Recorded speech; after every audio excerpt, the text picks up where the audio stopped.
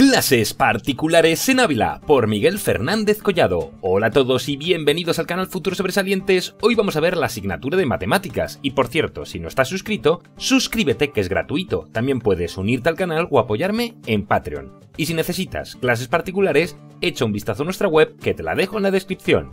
El tema de hoy es muy sencillo. Vamos a ver los números de tres cifras. Pon atención, que empezamos. Los números de tres cifras están formados por centenas, decenas y unidades. Vamos a poner un ejemplo. Para celebrar el comienzo del curso, en mi colegio hay una fiesta de bienvenida y asisten 253 personas en total. Vamos a representar el número 253 con diferentes figuras. Por ejemplo, las dos centenas vamos a representarlas con dos cuadrados. Las cinco decenas vamos a representarlas con cinco rectángulos y las tres unidades vamos a representarlas con tres cuadrados pequeñitos. Por lo tanto, si establecemos una tabla con centenas, decenas y unidades, y las completamos, sabemos que de centenas tenemos 2, de decenas 5 y de unidades 3. Esto quiere decir que el número 253 es igual a 2 centenas más 5 decenas más 3 unidades. Es decir, que el número 253 es igual a dos centenas se pueden expresar como unidades de la siguiente forma. Dos centenas, y para llegar a unidades tenemos que poner dos ceros. Dos centenas son 200. Más 5 decenas. Ponemos el 5 en decenas y añadimos 0 hasta llegar a unidades. Por lo tanto, 5 decenas son 50 unidades, más 3 unidades, que las vamos a dejar tal y como están. De esta manera descomponemos 253 en 253. Y ahora vamos a ver cómo se lee. Lo leemos por apartado. Primero tenemos el 200. Luego tenemos el 50. Y por último tenemos el 3. Y nos quedaría 253. Listo. Vamos a hacer ahora un ejercicio, que dice así. Completa. Tenemos los siguientes números, expresados de la siguiente manera. Y tenemos que completar la tabla. Por lo tanto, centenas tenemos 3. Decenas tenemos 4 y unidades tenemos 6. Sabemos que el número 346 está formado por 3 centenas, 4 decenas y 6 unidades.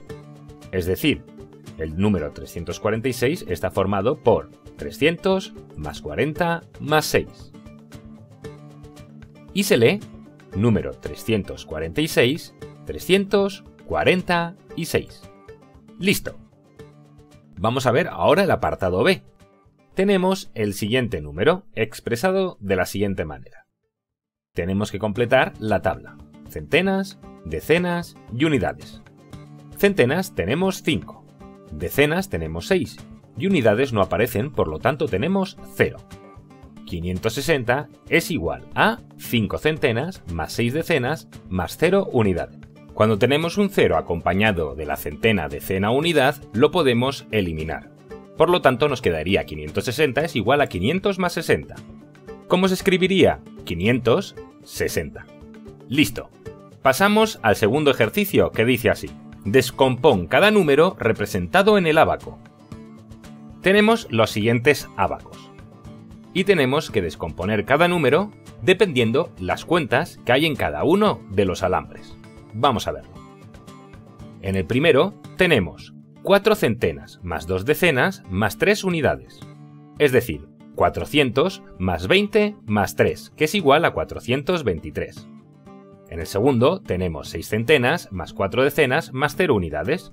Ya hemos visto que cuando hay un 0 acompañado de centenas, decenas o unidades lo podemos eliminar. Por lo tanto nos quedaría 600 más 40 que es igual a 640. En tercer lugar tenemos 5 centenas más 0 decenas más 6 unidades. El 0 decenas lo puedo eliminar y de esta manera nos queda que 500 más 6 es 506. Y por último tenemos 9 centenas más 7 decenas más 5 unidades. Es decir, 900 más 70 más 5 es igual a 975. Y una vez hecho esto, vamos a pasar al tercer ejercicio que dice así. Rodea los números correspondientes. Tenemos tres frases que nos dicen el valor en unidades de su cifra 8 es igual a 8, el valor en unidades de su cifra 8 es igual a 80 y el valor en unidades de su cifra 8 es igual a 800. Y tenemos los siguientes números. Vamos a ver aquellos que corresponden a la primera frase, por lo tanto, la unidad debe ser igual a 8. El primero de aquí, que es 798, y este de por aquí, que es 578. Vamos a ver ahora el valor en unidades de su cifra 8 es igual a 80, es decir, cuya decena es 8. Tenemos este por aquí, 381, y este de por aquí, que es 680. Y por último, vamos a ver el valor en unidades de su cifra 8 es igual a 800, lo que quiere decir que el 8 corresponde a las centenas. Tenemos este de por aquí y tenemos este de por aquí. Ya lo tenemos hecho. Ahora a sacar el sobresaliente. Y hasta aquí el vídeo de hoy. Espero que os haya gustado tanto como a mí. Ya sabes que puedes unirte al canal o apoyarme en Patreon. Y si necesitas clases particulares, echa un vistazo a nuestra web que te la dejo en la descripción. Aquí te dejo una lista de reproducción que te puede ser útil, suscríbete y sígueme en mis redes sociales. Nos vemos mañana. Chao, chao, bacalao.